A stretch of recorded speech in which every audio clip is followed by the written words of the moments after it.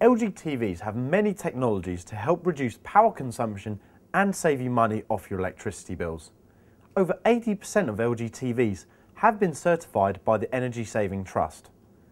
LG TVs with intelligent sensor automatically adjust to the environment, saving up to 69% of power consumption. And to show you how this works, if I go to the main picture menu, select picture there, put the picture mode to intelligent sensor, and once this is activated, we can see the TV at the moment is set to its highest uh, uh, brightness settings. So we're currently drawing 224 watts. If I cover my finger over the intelligent sensor to simulate darkness, we can see that the backlight is dropping and we can see that the power is also coming down as well, bringing us down to 70 watts. If I take my finger back off, we can see the light will start coming back into the sensor, the backlight will start coming up again, and the power will start to rise.